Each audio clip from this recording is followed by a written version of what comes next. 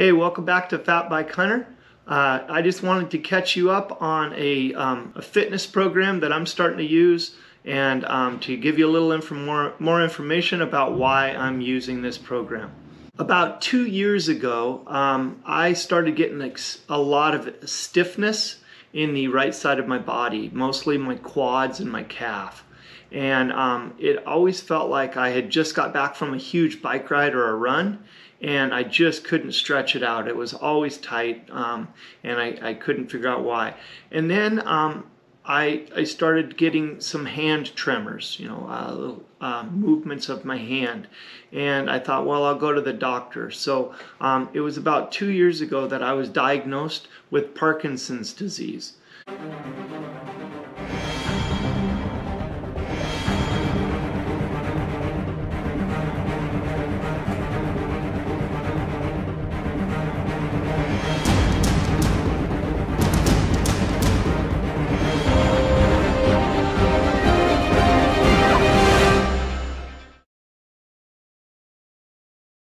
Parkinson's disease is a chronic and um, progressive disease. So um, I will have more, or people that have Parkinson's will have more, um, more and more severe symptoms as they age. Um, they, it, Parkinson's affects the motor systems. So it um, gives you tremors, it gives you stiffness, um, rigidity of the muscles, but it starts off as just affecting one side of the body. The awesome thing for me is um, I didn't really need to change my lifestyle at all. Um, there's a lot of research about biking and hiking and how that helps with the um, Parkinson's disease symptoms. It kind of slows it down, kind of gives them the people relief um, from the tremors. And um, the big thing is is forced exercise. And so so if you go out for a bike ride or a hike and you go pretty, you know, low key, you're keeping your heart rate down, you're not really exercising as hard as you possibly could, maybe your maximum, um, it's okay for a Parkinson's uh, patient to do that. But um, they've found a lot more research on if you really reach that um, forced exercise, that high intensity. So I like to go out um, and ride or run or hike really, really hard, especially in the um, off season when I'm not hunting, and um, get way above my normal heart rate. Um, I like to go on bike rides with my friends that are a lot faster than me, so I can uh, really get my heart rate up. But um, unfortunately, like the rest of you, COVID has kind of hit pretty hard. So um, I haven't been able to go and ride with my friends as much as possible as I wanted to. Um, I was taking spin classes awesome, awesome program. Um, keeps you at a high intensity intervals, but unfortunately, COVID shut that down also. Um, and so I started doing a lot of research on um, how I could possibly do this and not have to buy a program, an exercise program for at home. Um, the nice thing is hunting, especially for me, helps with depression. I don't suffer from depression, but that is one of the symptoms of Parkinson's disease. And um, I definitely, when I'm up in the mountains, uh, either hiking or even sitting against a tree, um, I definitely feel relaxed. That's my happy place. Um, one of the challenges with uh, me getting Parkinson's and a lot of uh, other patients that hunt is um, using a rifle isn't a problem. Using muzzleloader isn't a problem. It's the archery. And um, I have harvested really nice bulls with modern and with muzzleloader. And so my challenge to me as a hunter is to harvest a really nice big bull elk with um, uh, archery equipment. So um, as I draw back, my tremor hand is my release hand, um, which I'm still um, trying to figure out if that's better or worse than if it was my lead hand.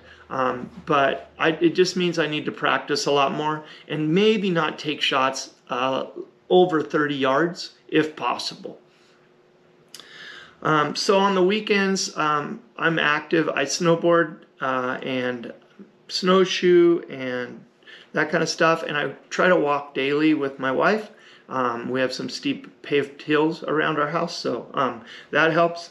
But um, I have found a wonderful program by um, Mountain Ops uh, called Elk Fit, and it's 100% free, which is really great. I actually printed it out, printed it out onto a binder and put it in a binder um, so that it, it um, I can follow along. So the Elk Fit program is a 12, 12 week program, and it has three phases. And um, you can do it from home or from a gym. And you're going to go 45 to 60 minutes per day. That includes about 20 minutes of cardio and um, you'd only do it three days a week. You repeat it. With, I'm um, I'm going to repeat it after this first three months. I'm going to do another three months, just the same same exercises, but with a weight to um, kind of add add some resistance, add some weight um, training to it. While I do those exercises, um, I also use some of the Mountain Ops um, supplements, and these are the ones that I want to share with you because I um, have had really great success. I've actually got dropped 20 pounds. Um, I have built a lot more lean muscle, and uh, I that was basically just from using their products and exercising, like running and hiking and stuff. Now that I've got an exercise program, um, and then going to be adding weights uh, I'll be building a lot more lean muscle for sure.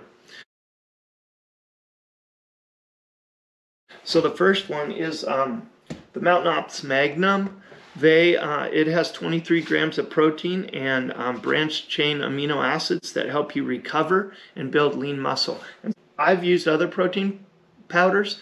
This this protein powder that Mountain Ops has mixes super well. You don't get the chunks, and they have so many great flavors. I prefer the uh, berries and cream. It's kind of like a strawberry milkshake. Um, another one of their products that I like are the um, protein bars. 20 grams of protein. These things are baked. They're basically like um, eating eating a really delicious cookie uh, brownie um, they are not your your dry, mealy um, protein bar. These things are like amazing. Okay, and those come in like peanut butter bliss, Concord caramel crunch, and chocolate brownie. Now, when I wake up in the morning, I love my coffee, and there's nothing wrong with that. But with the with the tremors, um, it almost gets me uh, really shaking a little bit even more. And um, so I've switched over to um, the Mountain Ops Ignite. Uh, the Mountain Ops Ignite has amino acids and um, caffeine, but no crash. No crash like I got from coffee. Um, it actually sustains up to 20 hours. So uh, what I like to do, especially with hunting, is um, I take the trail packs. They're just little um, packages that you can throw into a Nalgene. And oops, and those uh, trail packs, I I eat one of those or drink one of those um, when I'm getting ready to maybe sit for the uh, early afternoon, right after lunch, um, so that uh, I don't fall asleep against a tree and have the uh, awesome animal that I want to harvest walk by me. Okay, so they do make trail trail packs as well as I use this at home in the morning. Um, they do make a heated version, but I heat I heat my regular Ignite as well, so um, I'm not really sure what the difference is.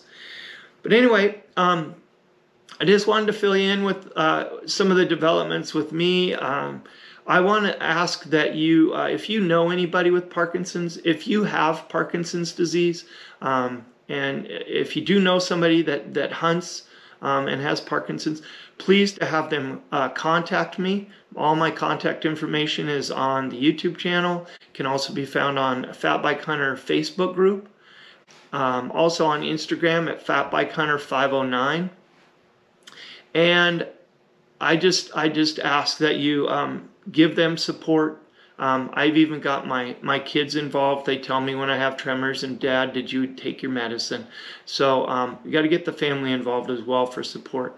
But anyway, um, I just want to thank you for your support. Um, remind you that we are. I have um, brand new merchandise. Got hoodies, t-shirts, hats, and even patches that you can sew onto your own clothes. Um, but anyway. I just want to I just want to thank you for the support and uh, ask that you um, give people around you support uh, if they have Parkinson's as well. All right, take care, guys.